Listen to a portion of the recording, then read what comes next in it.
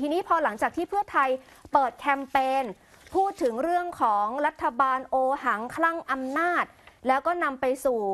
การเปิดแคมเปญใน change.org นะคะ ทางคุณธนกรวังบุญคงชนะโฆษกประจำสำนักนายกรัฐมนตรีเนี่ยก็ได้กล่าวถึงกรณีที่คุณสมพงษ์อมรวิวัฒน์แถลงข่าวเชิญชวนให้ประชาชน ร่วมลงมติไม่ไว้วางใจรัฐบาลผ่านทาง change.org นะคะ บอกว่า การอภิปรายไม่ไว้วางใจรัฐบาลเป็นนกลไกหนึ่งในการตรวจสอบรัฐบาลตามระบอบประชาธิปไตย ซึ่งเป็นสิทธิชอบธรรมที่ทำได้ แต่การเชิญชวนพี่น้องประชาชนให้โหวตไม่ไว้วางใจรัฐบาลด้วยนั้น ฝ่ายค้านต้องทบทวนให้ดีว่าเหมาะหรือเปล่า เพราะการอภิปรายควรเป็นเรื่องที่ดำเนินการภายในที่ประชุมสภา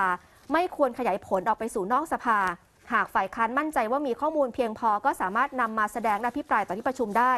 จากนั้นก็ยังสามารถยื่นให้หน่วยงานที่เกี่ยวข้องดำเนินต่อตามขั้นตอนได้อีกด้วย อย่างไรก็ตามอยากให้การอภิปรายเป็นไปด้วยเหตุผล ไม่ใช่เป็นเวทีศาสตร์โคลนใส่กัน โดยรัฐบาลจะถือโอกาสนี้ชี้แจงความเข้าใจกับประชาชนถึงนโยบายต่าง ๆ ของรัฐบาลด้วยเช่นเดียวกันค่ะ